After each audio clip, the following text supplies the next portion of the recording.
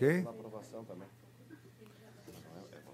Senhoras e senhores, é, um bom dia a todos. Cumprimentar aqui a deputada Marlene, cumprimentar o deputado Mauro, que se encontra aqui ao nosso lado, também deputado Volney Weber, que participa da reunião, e cumprimentar também os, alguns deputados, como o deputado Mocelin, que se encontra em missão no exterior, e outros deputados que estão chegando à comissão.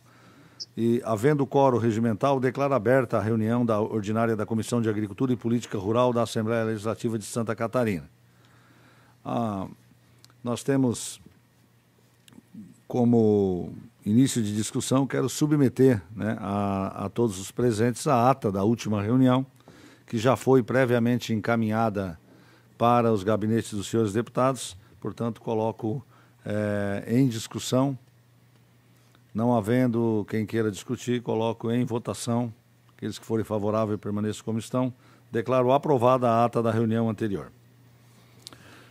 No expediente é, desta reunião, nós temos aqui como correspondência um convite recebido por e-mail é, de autoria da Eco Stakeholder é, o assunto é a participação no processo de consulta pública local para o programa de atividades de redução da emissão de gases de efeito estufa, envolvendo a implantação de unidades de biogás para tratamento de resíduos agropecuários no Brasil.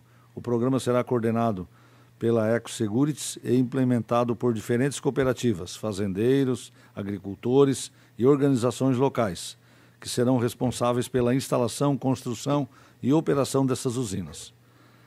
A, Eco, a EcoSegurities é uma provedora de serviços ambientais geradores de impacto especializados no desenvolvimento de projetos de crédito de carbono em todo o mundo, com 25 anos de experiência. Então,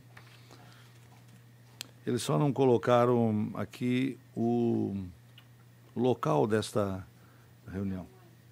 Será online, mas acho interessante que a comissão procure depois passar para os gabinetes o link, né? E preparar o pessoal. Então, dando sequência, é, a ordem do dia, nós queremos é, colocar em discussão o requerimento de autoria da deputada Paulinha para a realização de audiência pública com o objetivo de debater a regularização dos assentamentos agrícolas concedidos pelo Instituto Nacional de Colonização e Reforma Agrária, o INCRA, e a necessidade de retificação do marco temporal para desocupação das unidades irregulares.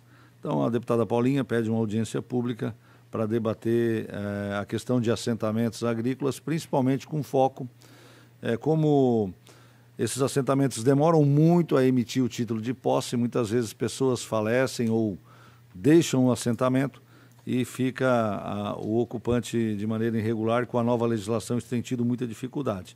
Então é um pedido, um requerimento de audiência que eu submeto aos senhores deputados.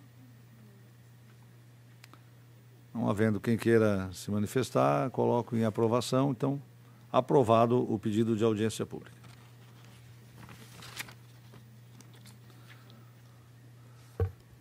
Na sequência, é, iremos relatar aqui um projeto de autoria do deputado Valdir Cobalcini, que institui a política de combate ao abigeato e aos crimes em áreas rurais. É o projeto de lei 0116.1 de 2021. É, Trata-se, é, o, o, presente projeto visa criar aí é, políticas né, de combate ao abigeato e a crimes em áreas rurais a fim de estabelecer mecanismos para a efetivação de operações especializadas na segurança pública com foco no enfrentamento à criminalidade nas áreas rurais. Cons é, toda essa as questões de aspecto legal já foram superadas, né? O projeto encontra-se adequado na forma da lei e também é, o presente projeto ele traz a possibilidade de firmar convênios com associações e outras instituições representativas da sociedade civil organizada para a sua consecução. O projeto de lei reflete em conjunto é, um conjunto de princípios e normas basilares que nortearão as ações do Estado visando combater os crimes especificado.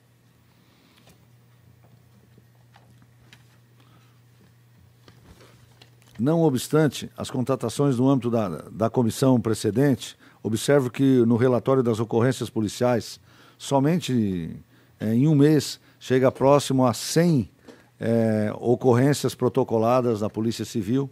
E a gente sabe que para cada uma protocolada é emitida, muitos outros boletins não são feitos porque o agricultor muitas vezes não vai. Então hoje é um grande problema é, essa questão do abjeato, principalmente roubo de gado ele traz uma série de artigos né, que dá condições para que a Secretaria de Segurança Pública possa ter instrumentos né, de atuação, inclusive de forma conveniada com outras instituições, para poder cumprir o seu papel. O meio rural é, ele, é, ele fica muito exposto, muitas vezes pela distância de uma propriedade a outra, no centro das cidades.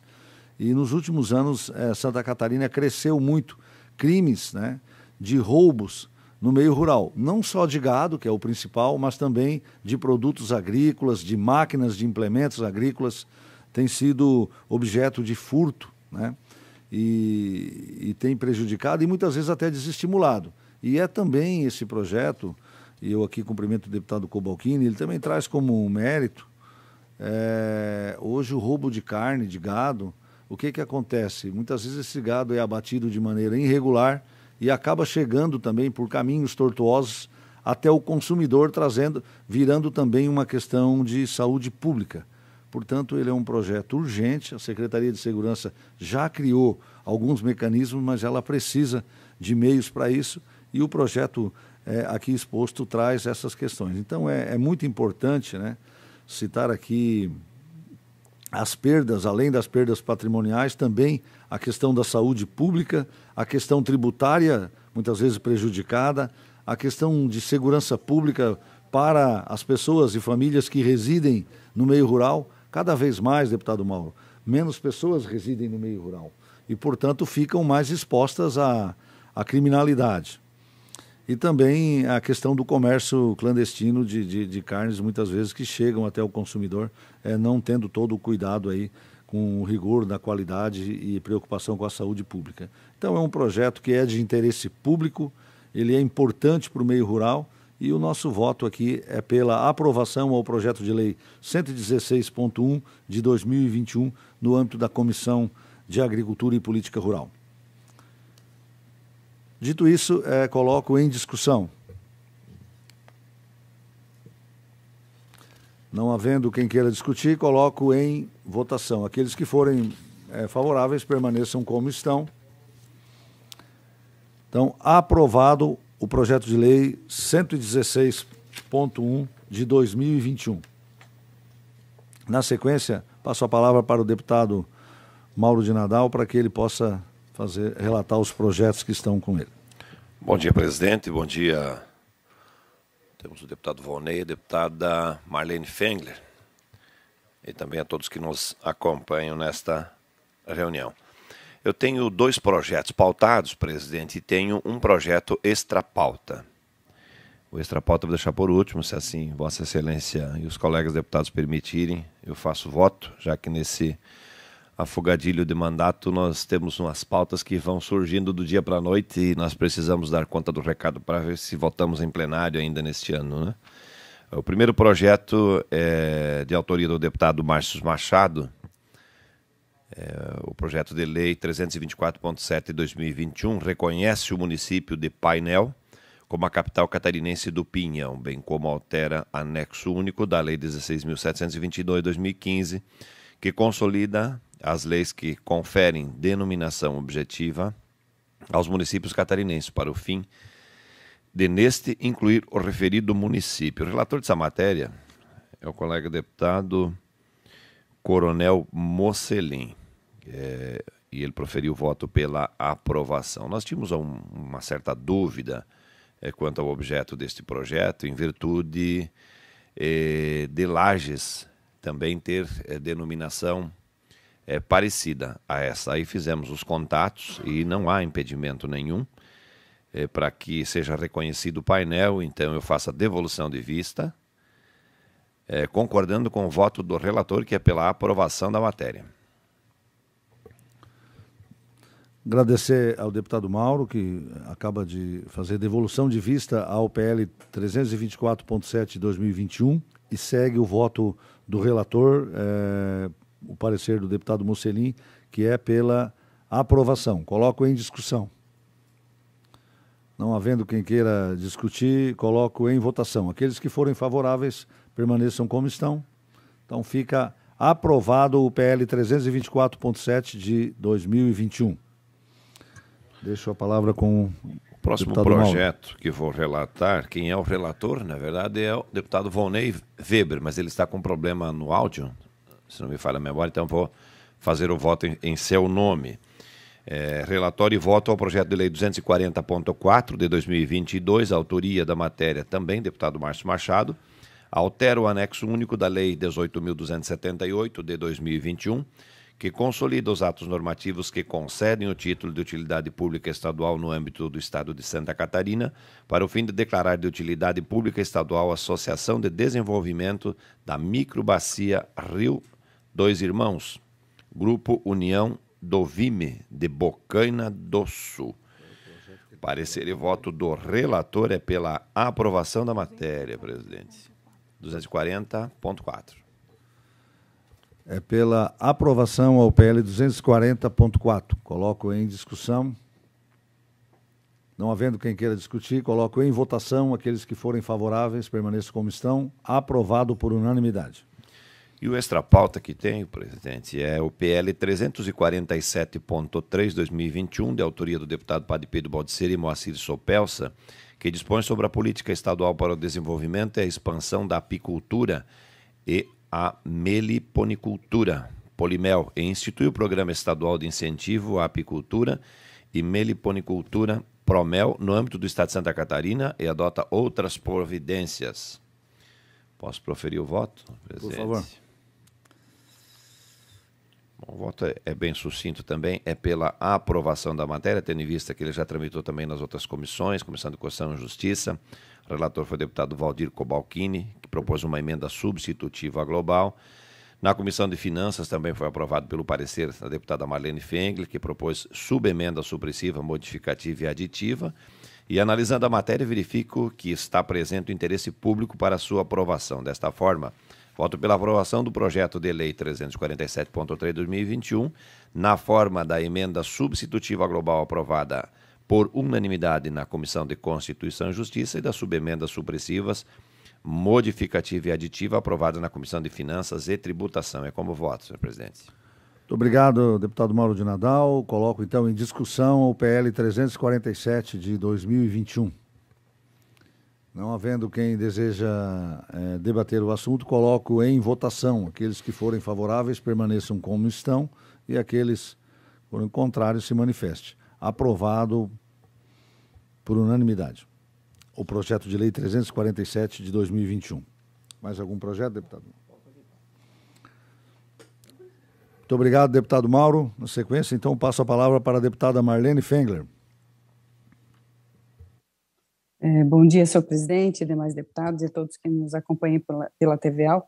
Eu tenho o PL 0173, que eu faço devolução de vista sem manifestação, ele é o é um, o projeto que altera a Lei 17003-2016, que dispõe, dispõe, sobre a comercialização do queijo artesanal, artesanal serrano, e eu acompanho o voto do relator.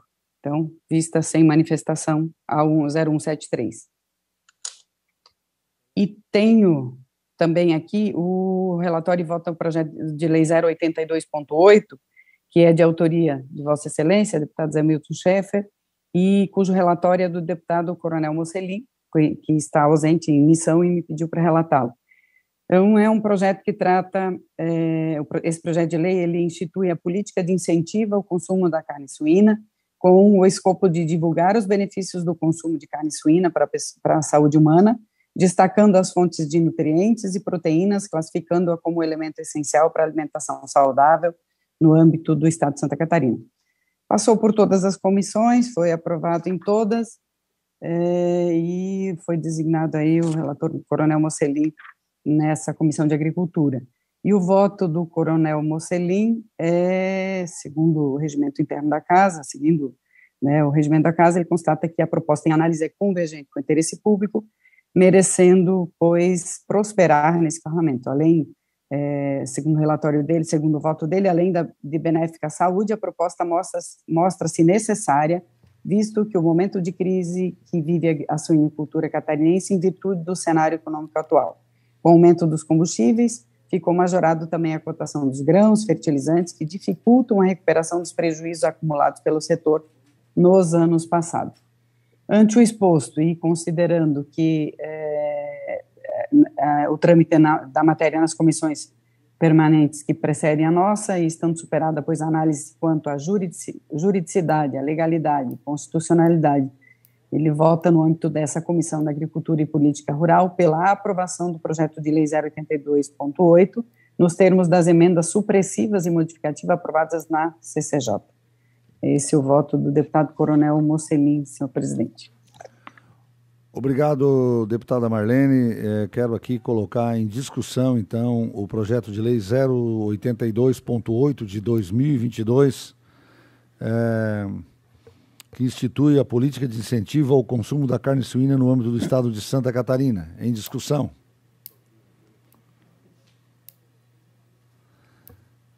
Não havendo quem queira discutir, coloco em votação. Aqueles que forem favoráveis permaneçam como estão, os contrários se manifestem. Aprovado por unanimidade. Mais algum projeto, deputada Marlene? Então podemos. É, podemos colocar agora, então, em, em votação a devolução de vista ao PL 173 de 2019, que a deputada Marlene devolveu, cujo projeto é, altera a Lei 17.003 de setembro de 2016, na qual dispõe sobre a produção e a comercialização de queijo artesanal serrano e estabelece outras providências. O, o autor do projeto é o deputado Márcio Machado.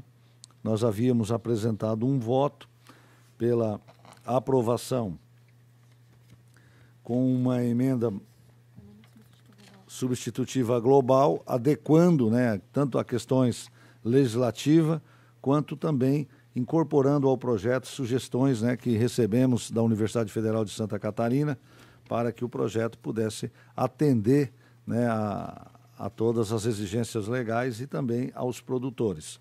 Portanto, coloco em discussão o PL é, 173.0 de 2019.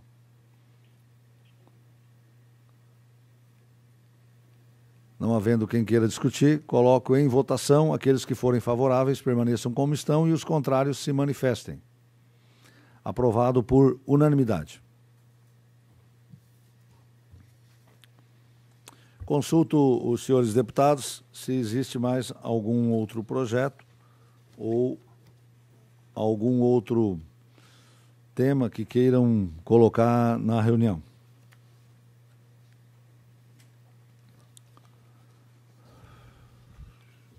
Quero aqui, então, antes de encerrar a reunião, apenas fazer uma reflexão é, sobre as questões ligadas às, às, últimas enchentes e os impactos né, que tiveram é, no meio rural de Santa Catarina, principalmente na, na pequena propriedade rural.